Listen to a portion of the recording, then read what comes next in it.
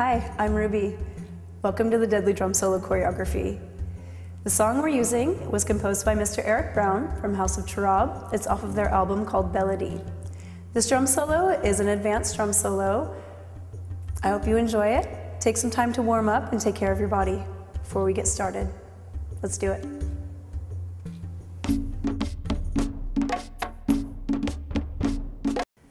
Let's get started with the first combination. We're going to start with a walk forward, hands behind the back. And remember to slide your feet. You don't want to pick up and set down. You want to slide the foot. Step, step, step, toe to heel. And then we're going to circle the arms around together. Leave the right arm in place. Plie, weight change to the left. Left arm comes up and right hip comes up. Let's try that again.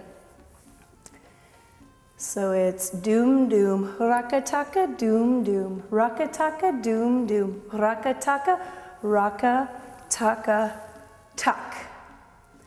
Right hip drops twice, drop, drop, shimmy and releve, weight change to the right, shimmy, shimmy, heel tap on the right foot twice, tap, tap, shoulder shimmy, rib cage drop, pelvis up shimmy.